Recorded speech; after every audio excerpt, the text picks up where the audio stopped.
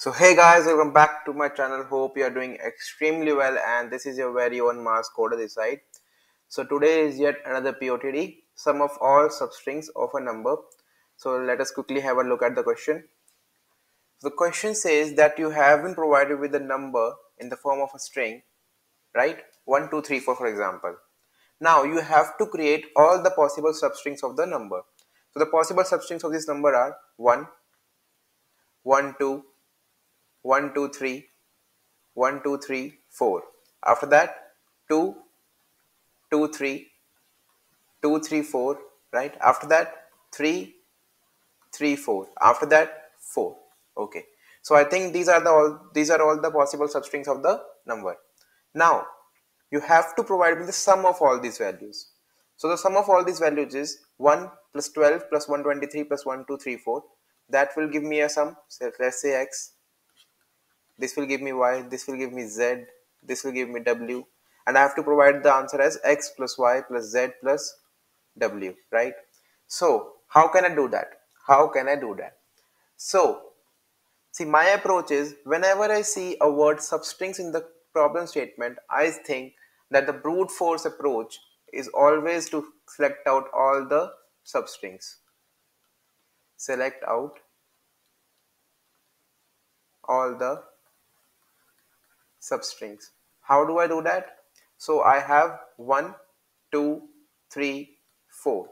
The indexes is 0, 1, 2, 3, 4. Okay. So I will move my i pointer from 0 up till 3. Right. And inside it I will use a nested loop to move my j pointer from i to 3. Right. So first of all when i is 0 my j will be 0 then j will be 1 then j will be 2 then j will be 3 after that iteration i equals to 1 j will be z, uh, 1 j equals to 2 equals to 3 after that i will become 2 j will become equals to 2 j will become equals to 3 after that i will become 3 j will become 3 right? These are all the possible combinations of i and j according to this nested loop pseudocode now what will I do? I will say my answer is in the starting of the function 0, right? Okay. Then as soon as I increment the uh, j, I will increment my answer, right? So I will make my cur as equals to 0 and I will say that after each step cur plus equals to s of j. Now this is in the character form. So I will use minus 0 to make it in the digit form and then I will say answer plus equals to cur right? So for i equals to 0 j equals to 0 my curve will be 1 and my answer will become 1 after that my curve will be 12 right? 1 plus 2 right?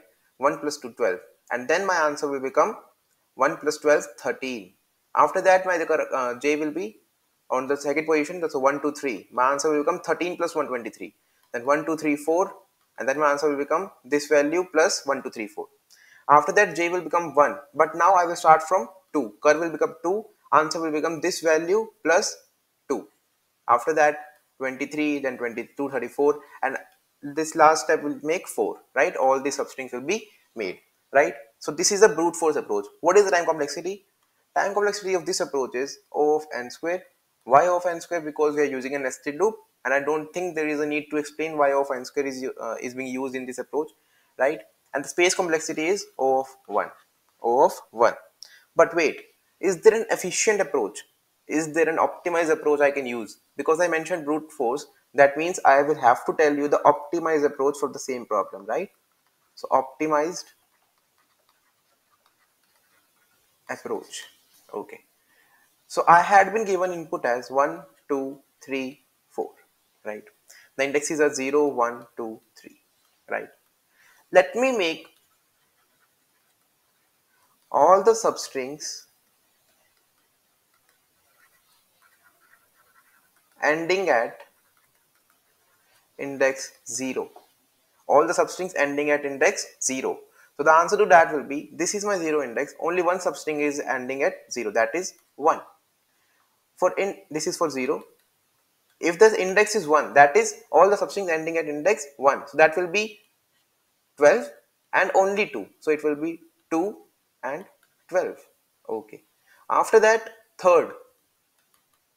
After that ending at index equals to 2 sorry. So it will be 3 23 1 to 3 so i guess these are the, all the substrings in the ending at 2 and similarly for 4 it will be for similarly for the index 3 it will be 4 34 234 and 1234 right these are all the possible substrings ending at index 0 1 2 respectively. So i say the sum of index uh, substrings ending at 0 is 1 it is equals to 14 here. It is equals to 146 plus 3 149 here.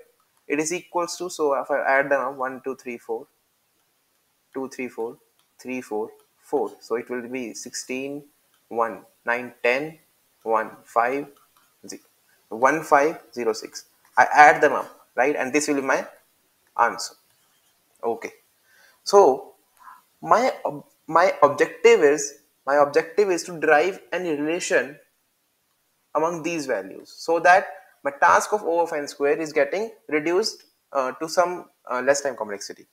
So what can I do? Let us take this one. Let us take this one.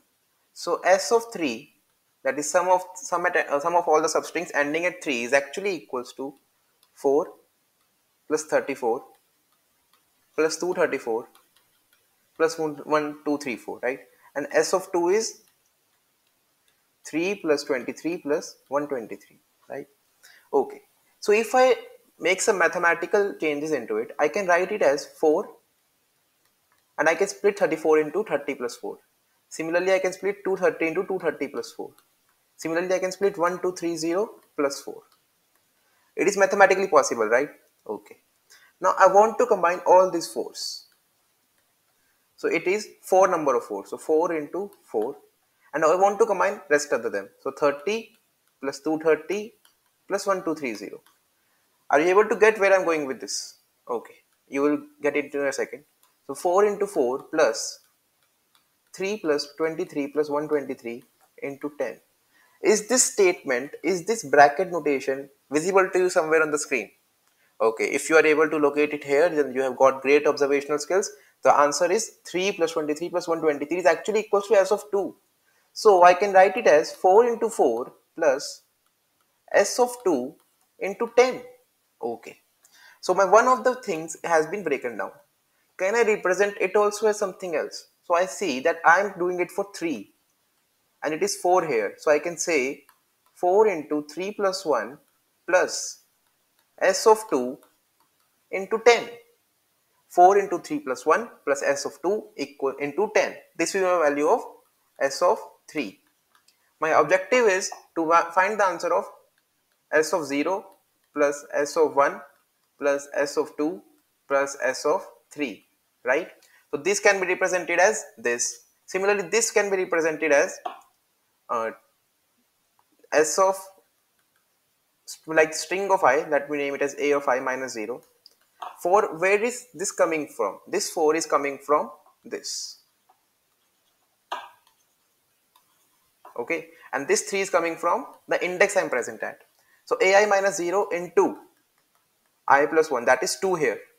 Okay? Plus s of 1 into 10 I just use this formula to write this formula and that's uh, see, uh, equally I can write this equally I can write this for this I don't have to use uh, previous value previous value of s0 is s of minus 1 which I can take as 0 right okay so my approach will be, so my string is 1, 2, 3, 4. My approach will be to create a vector of size n, let us name it as dp of size n. Initialize all with 0, right? My dp of 0 is actually equals to s of 0 minus 0 right? This value. dp of 0 is 1 so dp of 0 is 1 so dp of size n that is 3 right? So this is 1 these all are 0 okay. Then for i going from this that is index 1 up till n minus 1 that is third index what i'm doing is s of i sorry dp of i is equals to s of i minus 0 that is this digit it will give me 2 into uh, into i plus 1 that is 2 into 3 okay plus s of i minus 1 into 10 okay. So let us make it up. So 1 0 0 0 this will give me 2 into the index is 1 here. So 1 plus 1 is 2 plus 1 into 10 that is 10 so it will give me 14 okay. Now this will give me 3 into index is 2 so 3 into 3 plus, uh, 14 into 10 that is 140 that is 149 right? Now this will give me 4 into 4 plus 149 into 10 that is 16 plus 1490 that is equals to 1506 and you can match all of these values with these values these all are matching. So our approach is correct. And we and at last we will use this dp array to calculate our sum. So it will be 1 plus 14 plus 149 plus 1506 and that will be my answer. That will be my answer. What is the space complexity used here?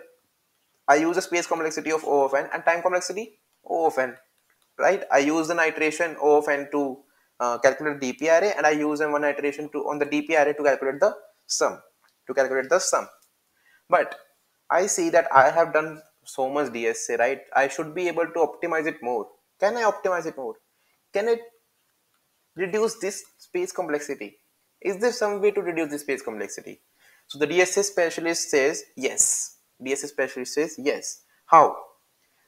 So you can observe that for DPI, I'm just dependent on S of i and S of i minus 1. I just want the previous value. I just want a previous value and that is my answer. That is my answer. I will just space optimize this approach. I will say my previous is equals to 0. That is for S of i minus 1, right? S of minus 1, sorry. Previous is equals to 0 my answer is equals to 0 my current is equals to 0 then what I will say I will use a loop I will go from 0 to n minus 1 right my curve will now become s of i minus 0 into i plus 1 plus prev into 10 this approach is exactly same as this step.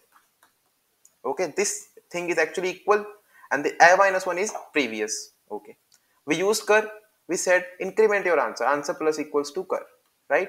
So instead of keeping them into an array i'm just adding them into the final answer.